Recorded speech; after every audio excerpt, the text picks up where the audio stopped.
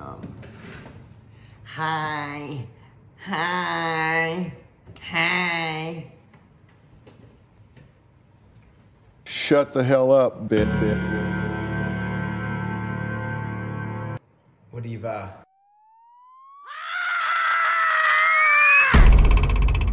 So, a while ago, maybe in November, October.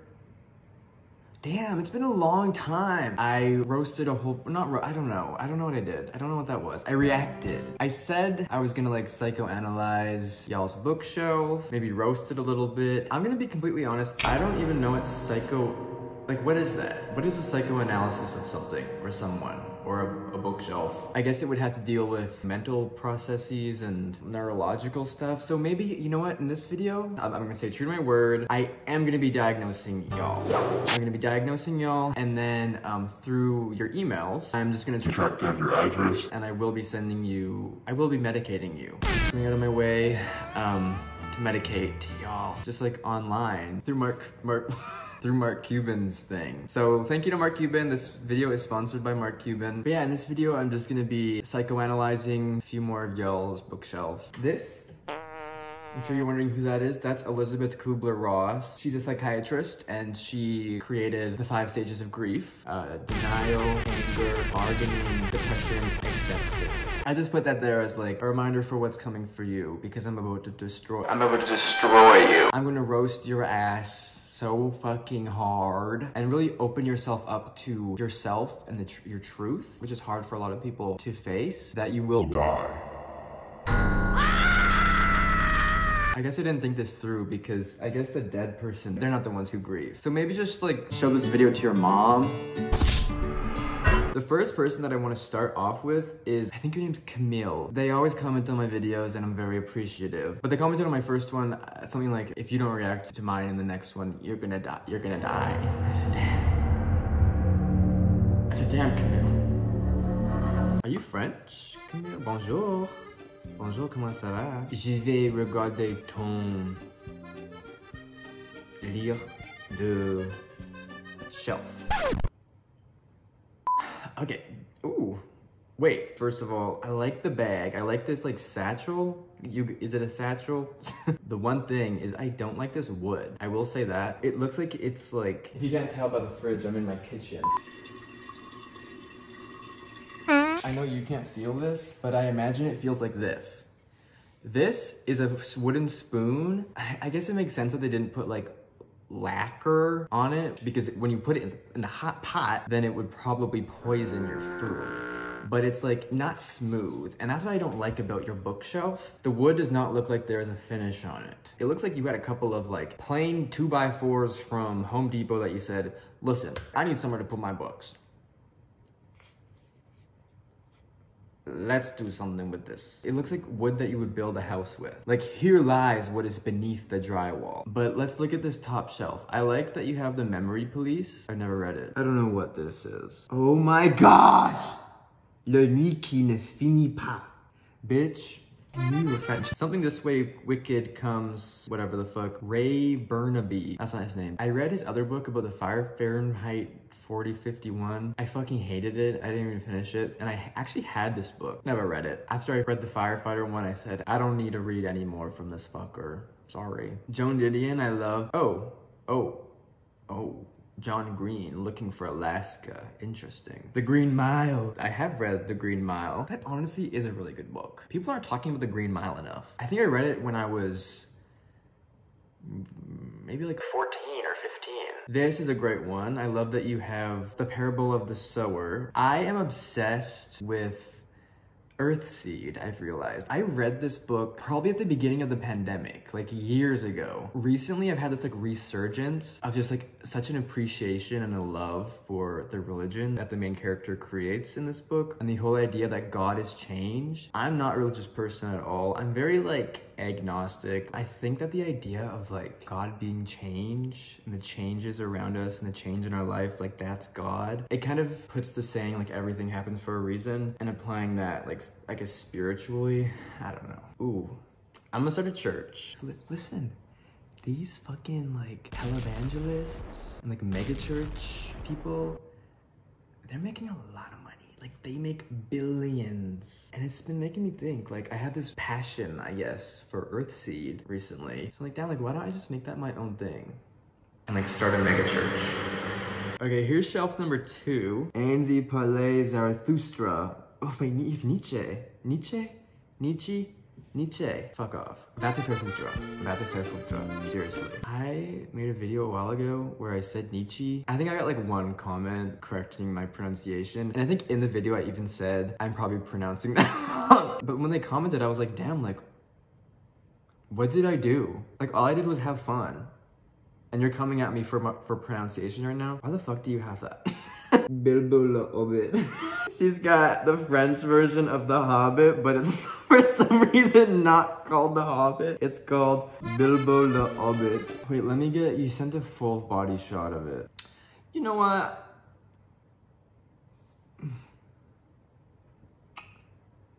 Hmm. I feel like your room smells like cabbages. I'm gonna give it like a, a, seven.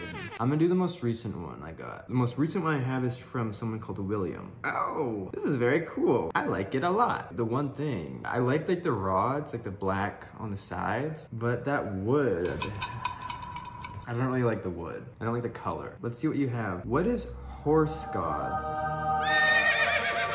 What is that? What do you have here? You only really have like one real bookshelf. Okay, Hamnet is lit. Ocean Vuong, you have some Ocean Vuong. I also saw you have Ocean Vuong down here. I've read the Earth one, but I've been meaning to read the Mother one. Dune. Dune is another thing that I've recently been loving. I read Dune. I think I read it at the beginning of 2020. And when I first read it, I was like, this shit is boring and long and kind of is not that great. That movie? That soundtrack, like the, um...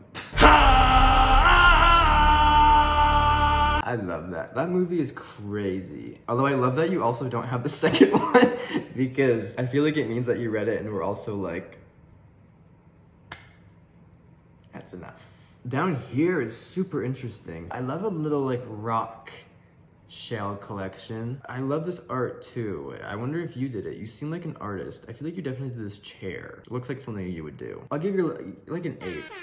An eight. And I like that you don't have a lot of books. I think the last video I was like, I love a book that's like overflowing, but I've recently been on like my against hoarding books shit. I think we all need to centralize the library into our lives and stop buying so many books, especially from places like Amazon. Okay, I don't think this is your real name, but somebody called Tyler Perry sent me theirs. Oh!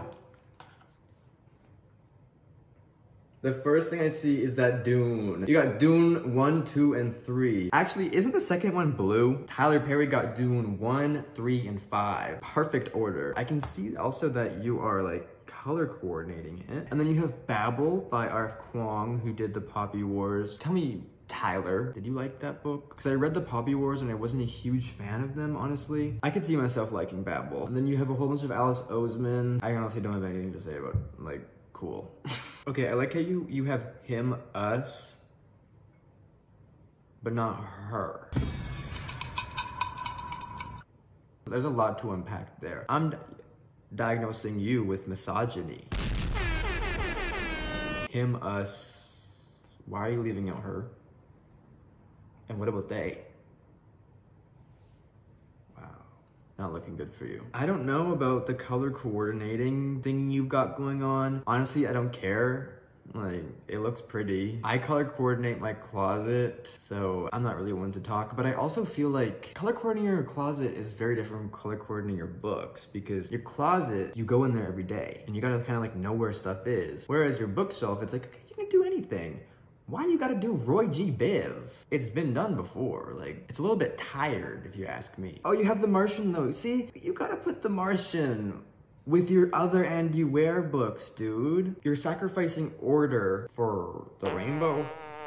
I don't know. And then down here's, I wonder what's going on. What is this? Oh. Is that a Swifty? You know, I got a funny feeling that you don't even have a record player. You're just buying all of Taylor Swift's records. but then over here, I don't even want to touch. It's just, that's too much. Under the Dome? Ah! Out of all the books, by Stephen King, Under the Dome? Under the Dome beside Milk and Honey? Right, right. You're about to give me a seizure. That's too much. You got issues for that. I am going to prescribe you lithium. You're falling. I saw that.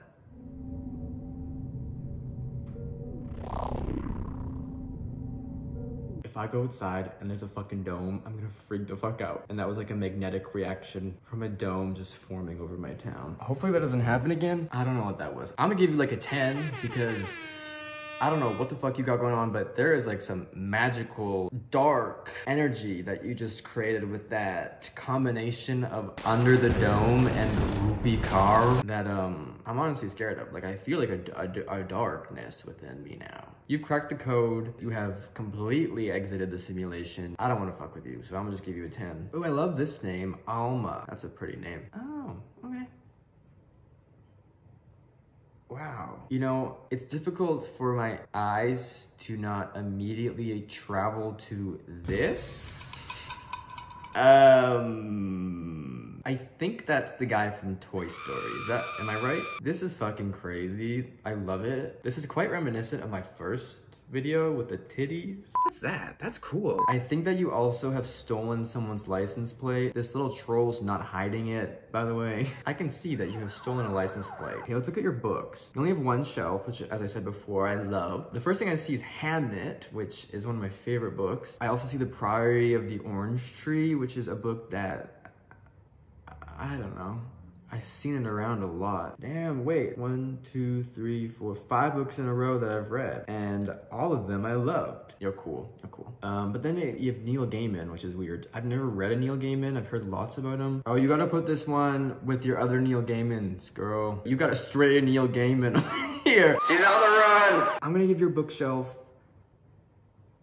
an eight. Everyone's getting eights. No, I do love the gumption of stealing a license plate and making like whatever the fuck this is. So I guess I'm gonna give you an 8.5 because that's like cool as fuck. You listen to CDs, that's cool as fuck. You have troll dolls, you steal license plates. You are clearly lit as fuck. So I'll give you like an 8.5. Dude, I'm sorry. My like little tripod thingamajig, I, it's broken. So whatever's going on here, this is the, just gonna be the rest of the video. Hopefully it's good.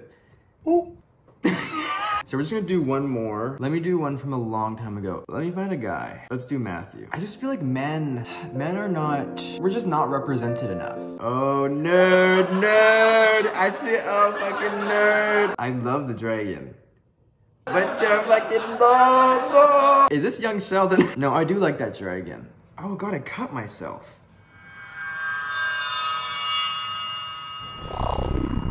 The dome. Let me look at what you got here. Look at this beat up copy of The Secret History. That is how The Secret History should look. I've only read it once. I do want to reread it though. So one day that's the goal. That is the body goal of The Secret History is to be like fucked up. Moby Dick.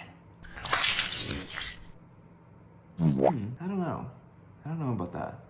I don't know about you. I feel like I am not the only person in the world who has absolutely no idea what the fuck Moby Dick is. Like, I feel like we've all just accepted Moby Dick as like a thing, but none of us really actually know what it is. We're all just kind of like, it's a classic piece of literature. And somehow we're always referencing it, even though we don't know what it is. But it's very interesting that you own it. I like these like orange penguin classics. I don't own any, I think I should. Um, the only one I've read out of these is Lolita. Today I ordered online, which I know I, I, okay, I'm a hypocrite, whatever. I know, like we know this. I'm a piece of shit, who cares? I did order like 11 books online today. And stop buying so many books. I got Pale Fire and Pnin. Ooh. This is an interesting one. I love, um, I love your finger. the only thing that I think I want to address here is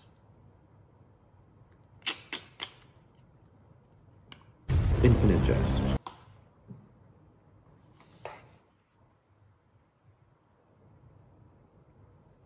Nary a crack in that spine. You have not read that book, nor will you ever. Oh god, I feel like, uh, it's, I don't even want to get into that book. It's too much. I've never even tried reading it. There is like this thing in the back of my brain that's like, maybe you should do a video one day trying to read that book. But it's like, I just know it's gonna cause me too much pain. If you've read Infinite Jest, let me know. Leave like, I don't know, man, just a purple heart in the comments because that's what you deserve for reading that, a purple heart. Because that's fucking brave. PTSD. PTSD. I'm diagnosing everyone who has completed Infinite Jest with PTSD. So yeah, that's everyone. Um, I think I only did five people. Oh, rating, um, mm, mm, 7.5. I'll do this again soon. Elizabeth, you know what's so bad? I very nearly pushed off this and like flew back in my chair. This is a tall chair. I would have cracked my skull open and died.